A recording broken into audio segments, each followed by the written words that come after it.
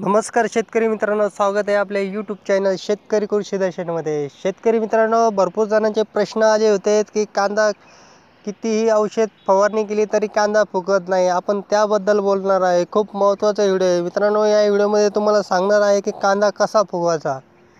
तर शेतकरी मित्रांनो भरपूर जणांनी आपल्या टेक्निकची इस्तेमाल करून लाखो कमवले आहे. तरी आपल्या चॅनलवर नवीन असाल तर मी शेतकरी मित्रांनो तुम्हाला एक छोटीशी विनंती आहे की आपल्या चॅनलला लाईक सबस्क्राईब केल्याशिवाय पुढे क जाऊ नका. शेतकरी मित्रांनो खरीप कांदा लागवड तंत्रज्ञान हे खूप मोठी अपडेट मित्रांनो तुम्हाला सांगत आहे. कांदा फुगवण्यासाठी तुम्हाला अत्यंत महत्त्वाचा व्हिडिओ ठरणार आहेत. तर मित्रांनो कांदा फुगव फुगवण्यासाठी एकदम महत्त्वाचे माहिती घेऊन आलेलो आहे मित्रांनो. तुम्ही चॅनलवर नवीन असाल तर आपल्या चॅनलला लाईक करा सबस्क्राईब करा बेल ऐकून दाबा. मित्रांनो विशेषतः विदर्भात रंगी रब्बी हंगामातील कांद्याचे क्षेत्र अधिक असून तुलनेमध्ये खरीप व रांगडा हंगामातील कांद्याचे क्षेत्र नगण्य आहे. वाशिम जिल्ह्यातील हवामान खरीप कांद्यासाठी योग्य असून रोपवाटिका व्यवस्थापन पुनर्लागवड हे दोन महत्त्वाचे टप्प्याविषयी माहिती घेऊ. नुसतं वाशिमच नाही तर सगळ्या जिल्ह्यातील माहिती आहे मित्रांनो. कांदा हे पीक लेट खरीप रांगडा रब्बी अशा तिन्ही हंगामात घेतली जाते. तर शेतकरी मित्रांनो तुम्हाला कांदा कसा फुगायचा याबद्दल सांगणार आहे. एकूण क्षेत्रापैकी सरासरी वीस टक्के क्षेत्र हे खरीप. वीस टक्के क्षेत्र लेट खरीप. रांगडा तर साठ टक्के क्षेत्र रब्बी हंगामात राहते. रंगी रब्बी हंगामातील कांद्याचे उत्पादन परत चांगले राहते. परंतु बाजारभाव कमी मिळतात. या तुलनेत नोव्हेंबर ते मार्च महिन्यात निघणाऱ्या खरीप लेट खरीप कांद्याला बाजारभाव चांगला मिळतो. खरीप हंगामातील कांद्याचे उत्पादन थोडे कमी सुमारे ऐंशी ते शंभर कुंटे प्रति एकर मिळते. लेट खरीप कांद्याला पोषक हवामान मिळाल्यामुळे उत्पादन व दर्जा चांगला राहतो. तर शेतकरी मित्रांनो जर तुम्हाला हवामान योग्य नि पोषक हवामान मिळाले तर कांदा उत्पादनात दर्जा चांगला राहतो.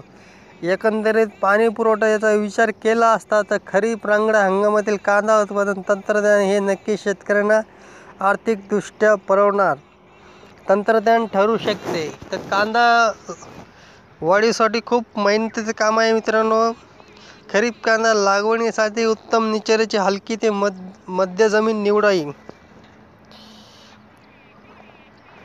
रोपवाटिकेच्या निरोगी रोपी मिळाली की निम्मी लढाई जिंकली जाते. रोप वाटिकेसाठी शेतीला उंच भागावर हलकी ते मध्यम जमिनीची निवड करा. एक हेक्टर लागवडीसाठी दहा बारा गुंठे शेताचे प्रति एकर किलो बियाणे रा लागते. रोपवाटिकेसाठी गाधा गादी वापा रुंद वारबा सरी पद्धतीचा अवलंब करावा. एक मीटर रुंद तीन मीटर लांब पंधरा सेमी उंचीचे गादीचे वापेर तयार करावेत. मिश्र खत शंभर ग्राम शेणखत वीस किलो टाकावे. नियमित व योग्य पाणी द्यावे. चाळीस पंचेचाळीस दिवसात लोप रोपे लागवड योग्य होतात. पुन्हा लागवड. कांद्याचे जमिनीच्या खाली पंचवीस सेमीपर्यंत वाढतात. उत्तम निचऱ्याची हलकी ते मध्यम भारी जमिनीची निवड करावी. नांगरणी व वखारणी करून शेतात वीस ते पंचवीस टन कुजव कुजलेले शेणखत टाकावे. पुनर्लागवडीसाठी लुंद वारबा सारी पद्धतीचा अवलंब करावा. त्यासाठी चार ते पाच रुंद रुंदीचे बारा बारा सेमी उंचीचे शेतीच्या लांबीवर वर वरंबे तयार करून पंधरा ते दहा सेमी अंतरावर लागवड करावी. ओलिताकरी ठिंबक किंवा तुषार सिंचन पद्धतीचा अवलंब करावा. रोपाच्या शेंडेखाली एक ते तीन भाग कापून टाका. लागवडीत रोपे शिपाय कीटकनाशके बुरशीनाशके द्रावणक म्हणून लागवड करावी. जमिनीची दिलेल्या खतासोबत फवारणीच्या माध्यमातून पंधरा ते तीस पंचेचाळीस दिवसानं खते साठ पंच्याहत्तर व नव्वद दिवसांनी ग्राम प्रति लिटर पाणी याप्रमाणे द्यावे. कांदा वाढीच्या असतेनंतर नत्रयुक्त खताचा वापर टाळावा. वीस ते पंचवीस किलो गंधक लागवडी पूर्व दिल्यास कांद्याची व प्रत टिकवण्याची क्षमता वाढते व कांदा मजबूत होतो व कांदा वाढतो. तर अशा प्रकारे मित्रांनो कांदा लागवडीची तुम्हाला संपूर्ण माहिती सांगितली आहे. हे जर तुम्ही उपयोग केला तर नक्कीच तुम्हाला कांदा वाढवण्यास मदत होईल. तर शेतकरी मित्रांनो कांदा वाढवण्यासाठी हे बरेचसे उपाय आहे. जर तुम्ही असे उपाय केले तर तुमच्या कांद्याला चांगला भाव येईल मार्केटमध्ये. तर मित्रांनो हे होते कांद्या वाढवण्याचे उपाय. व्हिडिओ आवडल्यास तुम्हाला लाईक करा शेअर करा सबस्क्राईब करा कमेंट करा आणि जास्तीत जास्त शेअर करा. जेणेकरून जास्त शेतकरी आपल्या कांदा वाढवण्याबद्दल फायदा घेतील.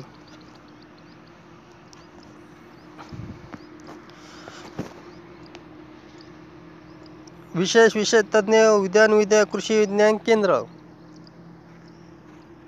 जिल्हा वाशिम. तर शेतकरी मित्रांनो तुम्हाला व्हिडिओ आवडले असेल लाईक करा शेअर करा सबस्क्राईब करा आणि कमेंट करा. आणि जास्तीत जास्त शेतकऱ्यांकडे पावसवा जय हिंद जय महाराष्ट्र.